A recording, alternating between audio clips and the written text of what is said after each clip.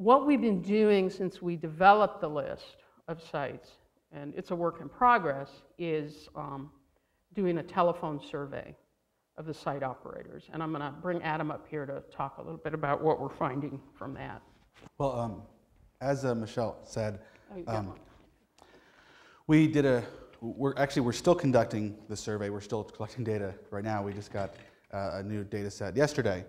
Um, we have about 60 sites so far, 60 site operators so far who have responded to the survey. That's out of a, a list of about 120 um, that, uh, that we've, we've tried to contact. So we're hoping for some more.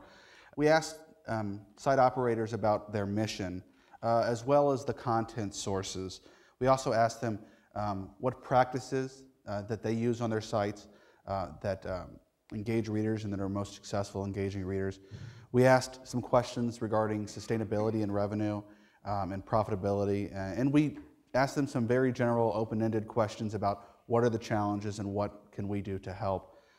Uh, one of the things, as I mentioned, that we came up with is uh, about mission statements. We asked uh, different, we, asked how important they thought different aspects of, of, uh, of uh, the mission of a site um, are, and we also asked them how they're doing, how successful are, are they at those same, um, same aspects. Some of the aspects of mission that we asked, we asked them about how important is it to pr- produce original news? How important is it to build community, um, hold government uh, and powerful individuals to be accountable? Um, of course, running a sustainable business, uh, and some others. Um, overall, uh, on a five points, we used a five point scale, and for many of these, um, people rated it very high, four, four or fives uh, almost across the board.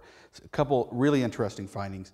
Um, promoting civic action was rated lower than most of the other components.